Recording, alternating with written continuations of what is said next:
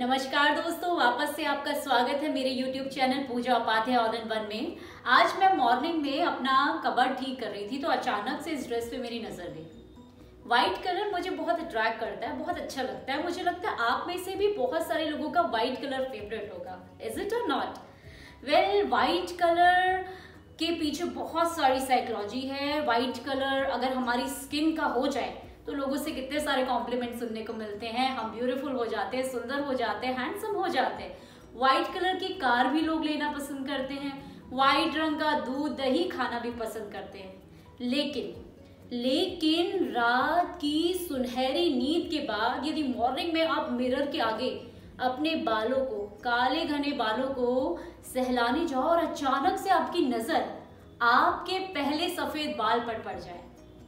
तो क्या इमोशंस आते हैं? याद आ रही है कुछ मेमोरीज में आपका पहला सफ़ेद बाल? यस तो आज मैं आपके साथ इसी टॉपिक पे एक पोयम जो मैंने लिखी है, वो शेयर कर रही हूँ, पहला सफ़ेद बाल।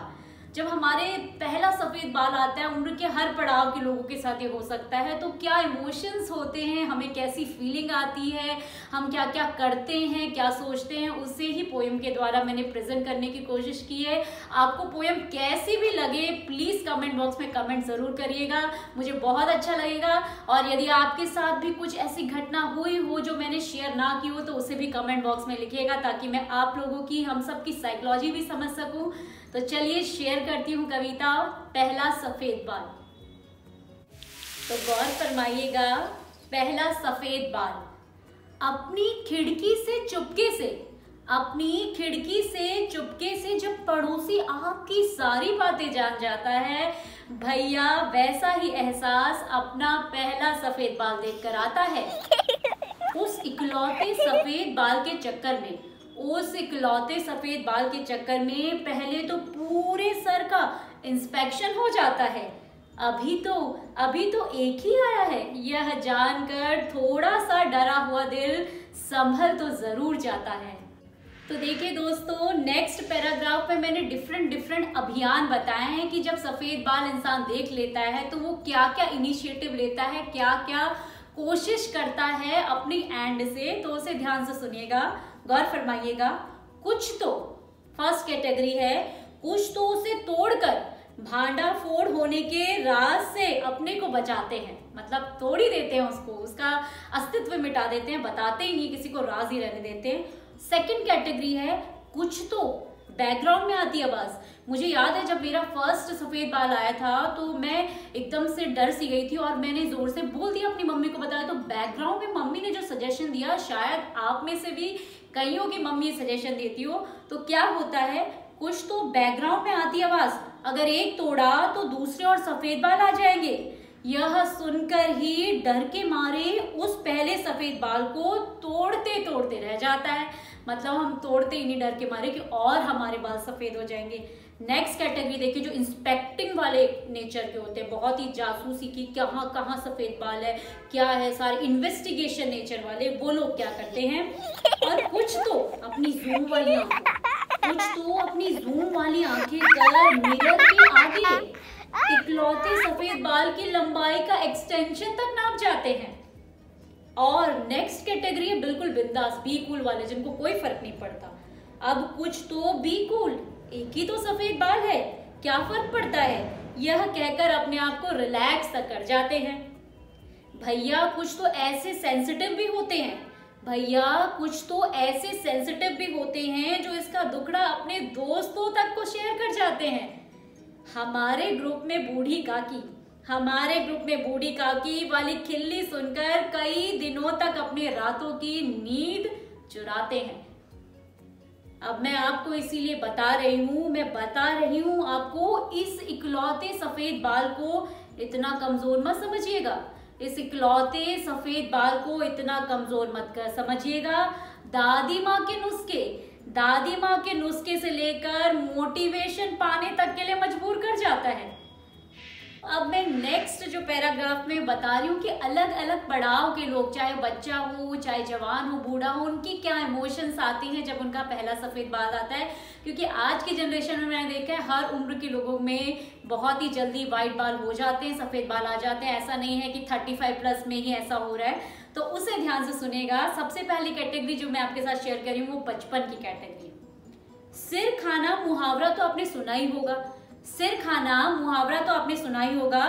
बच्चे के सिर पर अगर सफ़ेद बाल आ जाए तो मम्मी उसका सच में सर खा जाती है टेंशन के साथ। जब अगला सफ़ेद बाल आए, इसकी इंफॉर्मेशन देने की हिदायत तक दे जाती है।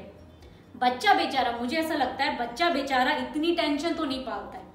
बच्चा बेचारा इतनी टेंशन नहीं पालता है, लेकिन स्कूल में हाँ देखिए, ये ध्यान से सुनिएगा, लेकिन स्कूल में बूढ़ा वाला कमेंट सुन। स्कूल में बूढ़ा वाला कमेंट सुन, तू होगा सा। बूढ़ा, बोलने के लिए मजबूर ज़रूर कर जाता है। देखिए डैश वाला वर्ड आप समझ गए होंगे, मैं टीचिंग प्रोफेशनल में हूँ तो शायद ये शब्द नहीं बोल सकती। नेक्स्ट कैटेगरी जो मैंने शेयर की है, वो है जवानी की। जवानों के सर में जब बाल आता है, सफ़ेद पहला तो वो कैसे इमोशंस होते हैं? जवानी में तो पहला सफ़ेद बाल सच बताऊँ पहला सफ़ेद बाल सच बताऊँ, बुढ़ापे की खौफ को जगाता है। बुढ़ापे की खौफ को जगाता है। हे भगवान, अभी तो शादी भी नहीं हुई, बच्चे भी नहीं, अभी से मैं बूढ़ी हो गई। न जाने कैसे कैसे डरावने एहसासों को जगाता है। इन शॉर्ट इन शॉर्ट मैं आपको बता रही हूँ, जवान तो पूरी कोशिश कर जाता है पहले सफ़ेद बाल को छुपाने में, पुताने में, या फिर उसका अस्तित्व ही मिटाने में। और सफ़ेद बालों की यात्रा आगे ना बढ़े।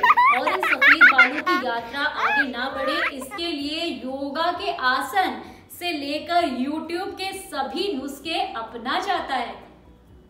नेक्स्ट कैटेगरी है बुढ़ापे की कैटेगरी मतलब बुढ़ापा मैं नहीं कह सकती, या ऐसी उम्र जब बाल ऑलमोस्ट बहुत सारे लोगों के सफ़ेद हो ही जाते हैं। आप 35 प्लस बोलिए 45 प्लस बोलिए, वो हर व्यक्ति के अनुसार डिफर करता है। लेकिन ऐसे जब आपके बाल काफ़ी सफ़ेद हो गए तो उन लोगों की क्या मेंटेलिटी होती है, क्या साइकोलॉजी होती है, उसे शेयर कर रही हूँ।